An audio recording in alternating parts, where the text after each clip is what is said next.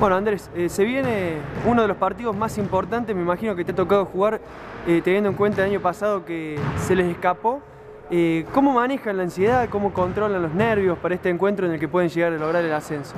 Y los nervios no se controlan, la ansiedad tampoco. Es, un, es parte de, de lo que es una final.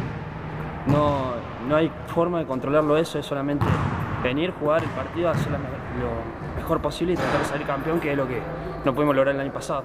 Corrigieron muchos errores en el partido que ganan el quinto juego allá en, Morteros con respecto al cuarto. Eh, ¿Qué por ahí cositas les queda para, para seguir puliendo de cara a este sexto juego?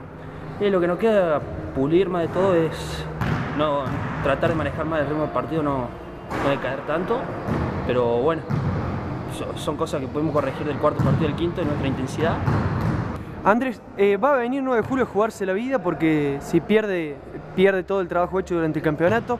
¿Alguna cuestión para, para controlar de, por parte del rival en especial? La cuestión de controlarlo es lo que, es lo que hicimos toda la serie, es el planteo defensivo que quisimos hacer toda la serie. Eh, algún partido puede salir mejor, otro, otro peor, pero nosotros yo presentí que nosotros jugamos la serie todo el partido, todo, toda la serie.